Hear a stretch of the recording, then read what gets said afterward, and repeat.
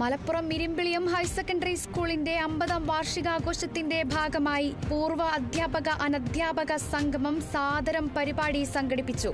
പരിപാടി സാഹിത്യകാരൻ പി സുരേന്ദ്രൻ ഉദ്ഘാടനം ചെയ്തു.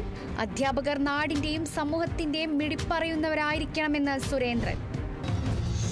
എറണാകുളം ചേറായി പള്ളിപ്പുറം സെന്റ് മേരീസ് ഹൈസ്കൂളിലെ സ്കൂൾ കലോത്സവം നിറക്കൂട്ടിന് കൊടിയേറി. കലോത്സവം ഫാദർ സിബിൻ കല്ലറയ്ക്കൽ ഉദ്ഘാടനം ചെയ്തു. രണ്ടു വേദികളിൽ രണ്ടു ദിവസങ്ങളിലായി നടക്കുന്ന കലാമേളയിൽ മുന്നൂറിലധികം കലാകാരന്മാർ മത്സരിക്കും. നേപ്പാളിലുണ്ടായ പ്രളയത്തിലും മണ്ണിടിച്ചിലും മരിച്ചവരുടെ എണ്ണം ഇരുന്നൂറ്റി മുപ്പത്തി ഒമ്പത് കടന്നു. പതിനെട്ട് പേരെ കാണാതായി. വീടുകളും കെട്ടിടങ്ങളും തകർന്നു. നിരവധി പേരെ രക്ഷപ്പെടുത്തിയതായി നേപ്പാൾ ആഭ്യന്തര മന്ത്രാലയം. ഹെലനിലുണ്ടായ ചുഴലിക്കൊടുങ്കാറ്റിലും കനത്ത മഴയിലും വീടുകൾ തകർന്ന് ഇരുന്നൂറ്റി ഇരുപത്തിയേഴ് പേർ മരിച്ചു. നിരവധി ആളുകളെ കാണാനില്ല. പ്രദേശത്ത് വരും മണിക്കൂറുകളിൽ ശക്തമായ മഴയ്ക്ക് സാധ്യത. ഗുവാഹത്തി ബ്രഹ്മപുത്ര നദിയിൽ മലയാളി യുവാവിനെ കാണാതായതായി പരാതി. കാണാതായത് ആര്യാട് സ്വദേശി വിൻസെന്റിനെ. ജങ്കാർ യാത്രക്കിടെ ഇയാൾ പുഴയിലേക്ക് വീഴുകയായിരുന്നു.